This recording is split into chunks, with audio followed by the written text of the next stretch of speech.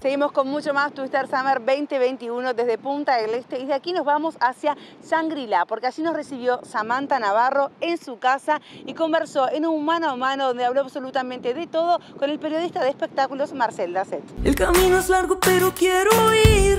Ricky Martin Santo, danos compasión. Alto espíritu, Carmen, mi emoción. Corre por mi sangre, abre mi razón.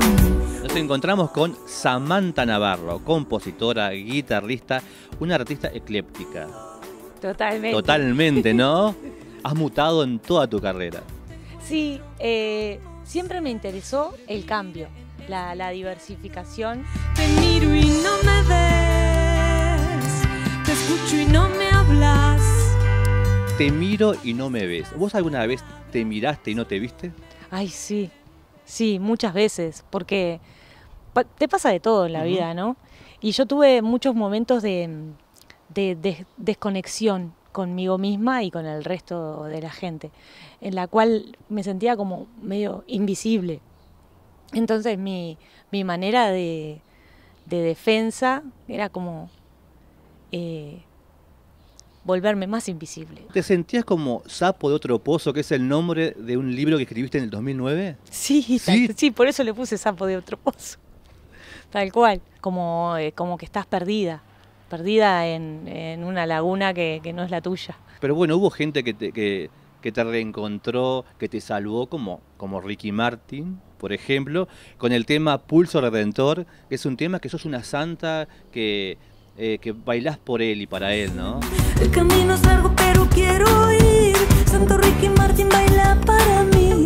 Gloria que me llena, fiel es mi pasión. Orden en el caos, pulso redentor. ¿Qué significa Ricky Martin? ¿Por, por qué Ricky Martin? ¿Por qué ese tema? Ese videoclip que está espectacular, que hasta vendiste la Vespa para poder hacerlo. Sí, y sí, y bueno. eh, mira, Ricky Martin para mí es un artista increíble. Em, me gusta. Yo no soy gran seguidora de su música de cuando él era chico, pero vi todo el proceso de, de crecimiento de él y, y de cambio y de involucramiento con diferentes causas, ¿no? Y cuando él eh, salió del closet, fue maravilloso porque era un artista súper ídolo, con un cierto perfil que decía, bueno, esto es así, que se abría la diversidad y que otra gente que de repente no, eh, no estaba preparada eh, para salir del closet, ahí encontró una, una energía y, un, y una validación. Cada vez está más lindo, realmente está divino. Sí, con tu pareja, con, con- con- Victoria Búgalo, eh, están enamoradas de él. Han llegado de cielo a fantasear que se casarían con él o que lo compartirían. Sin duda. Sin duda, ¿no? No, no, no cabe la menor duda. Sí, totalmente. Es, es- la verdad que nos despierta cosas. Sí, ¿no? Sí. que Ricky Martin haya salido del closet eh, ayudó también para que vos te pasara exactamente lo mismo, para que se te abriera la cabeza, para asumir. Seguimos con mucho más del programa y volvemos nuevamente hacia la zona de Shangri-La para disfrutar de la entrevista que realizó el periodista de espectáculos Marcel Lacet en un mano a mano súper íntimo donde conversaron de todo, pasaron por su carrera y también por su vida personal. Estamos hablando de la cantautora uruguaya Samantha Navarro. El camino es largo pero quiero ir. Santo Ricky Que Ricky Martin haya salido del closet eh, ayudó también para que vos te pasara exactamente lo mismo, para que se te abriera la cabeza, para asumir, para asaltar al tiempo deseado, a otro tiempo. No, porque yo tuve como una cosa del, del, del closet más, yo más grande ya, ¿no? De más grande, pero me pasó antes que a Ricky Martin.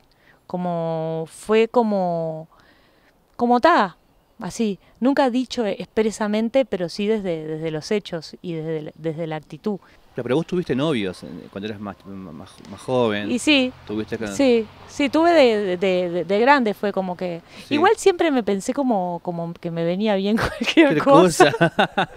claro, yo qué sé. Eras ecléptica también sí, en ese sí, sentido. eso, todo bien. O sea, de una vez me preguntaron y yo pensaba que yo era este bisexual, ¿no? Pero después ya de más grande pensé que de repente me podía enamorar de, de una persona trans, totalmente. Ahí sí, muy desprejuiciada. ¿Fue Victoria, Victoria tu, tu primer gran amor? Mm, yo creo que sí. Con Victoria me pasó que era mi amor de verano, fue como un amor de verano. Ta, onda, relax total, vacación, amor de verano, chau chau. Cero expectativa. La clave, la clave. Y ahí, eh, bueno, empezó a pasar el tiempo, nos empezamos a conocer más y bueno, tuvimos también un, momento en que casi naufragamos y ahí, bueno, pudimos eh, rescatarnos de esa situación y, y cada vez más, ¿no? Fue como, no es al revés del amor a primera vista, fue como el amor a segunda vista. Y en el 2015 fue como la coronación con, con la unión civil que se casaron. ¿Cómo surgió todo? En realidad nos íbamos de viaje, porque estábamos planificando eh, que, a ver qué hacíamos, si íbamos a ser madres o no, o cómo, qué, cuándo. Mi pregunta, entonces dijimos, y además, querremos dejar esta vida medio hippie, de que no sé qué, salir, coso, ah, buah. Y nos mandamos a hacer un viaje, juntábamos plata, y, y bueno, nos fuimos. Y una parte de casarnos era, uno, para no tener problemas si algo le pasaba a una, no teníamos ningún vínculo. Entonces, ¿cómo hacías para apoyar a la otra? Imagínate cualquier cosa. Para que no se quede sin nada. un ¿eh? accidente, no sé qué, te pasa un accidente, no te dejan de repente ni ir al hospital. Entonces estaba como eso. Y después, porque cuando te casás, tenés todos los regalos. Sí. Entonces le pedimos a todo el mundo que nos regalara plata para poder hacer el viaje. Así que fue como una cosa muy pragmática, que en el momento no, no- onda, está divino, ¿no? Y después fue onda, pa, nos, nos mirábamos y decíamos, nos casamos. Sí, sí, pocha, nos casamos. Y era como, onda, nunca me imaginé que me iba a casar, ¿no? Un hijo, dos mamás, Simón en el 2017, por el método mediante la ley de reproducción asistida. ¿no? Sí, sí. Fa, hay un momento en que estirarse al agua. Estirarse al agua. Que sí, que no, nos fuimos en el viaje que teníamos que de- decidir esto, no decidimos nada. ¿Dónde fue el viaje? Fuimos a Barcelona, a Madrid y... ¿A dónde más? Bueno, al País Vasco. Y, y en- dentro de esas cosas íbamos viajando, yo toqué en todos los lugares que fuimos, nos comimos todo. Y, bueno, y de ahí nos fuimos a Estados Unidos. Victoria se quedó en Nueva York. Nosotras somos amigas de Julisa Reynoso, que fue la embajadora de Estados Unidos acá. Sí, la conocemos. Y yo me estuve viajando con un programa de la embajada, justamente, de que visité varias ciudades con un grupo de, de gente de todo el mundo. Después nos volvimos a juntar en Nueva York y después volvimos para acá. Y entonces vamos a la primera este, sesión, iba a decir, pero consulta, consulta, y nos explica toda la, médica, una, una genia que yo ya la, la conocía de antes. Bueno, ¿qué hacemos? Bueno, lo vamos a hacer. Ya está. Y no hablamos nunca más del tema. Está perfecto. Y nació Simón. Y tenían que, que escoger entre una de las dos, entre Victoria y vos, para... No, no, no, ahí no había nada ¿Por para decidir porque yo ya, este, ya, ya, ya estaba. Yo siempre digo que mis, mis óvulos ya estaban tomando whisky y jugando al truco. O sea que la en única, otra. la única opción era Victoria sí o sí la que... Claro, no, no, yo, yo no. ¿Ustedes les tienen que explicar algo al nene o de, de que son un- una, una pareja distinta a, a lo, a lo común, digamos? Mira, me parece que los, los niños Sí. tienen una inteligencia que los adultos perdemos, que es como una manera de, de- de abarcar un- una especie de, de- cosa más global. Entonces está, él tiene dos mamás y otros tienen un padre y una madre y otros tienen dos padres y, y bueno, y como conocemos, tenemos un entorno muy de, de parejas y de, y de y de esposas, digamos, ¿no? Que son, Claro. que son las, las dos mujeres. También conocemos que son dos varones eh, y, y también conocemos con hijos, también. Varones con hijos no conocemos. Vimos una vez, pero, pero no son amigos, digamos, un poco más lejos. Pero entonces todo eso genera como una cosa de naturalidad y a medida que va preguntando, se va respondiendo y bueno, se va viendo cómo es. Hay una frase con la que cerraría la nota, es el nombre de un tema, La vida recién empieza.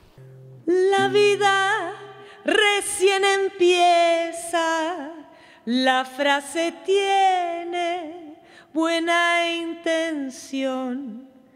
La dicen los que me quieren, los que me cuidan el corazón.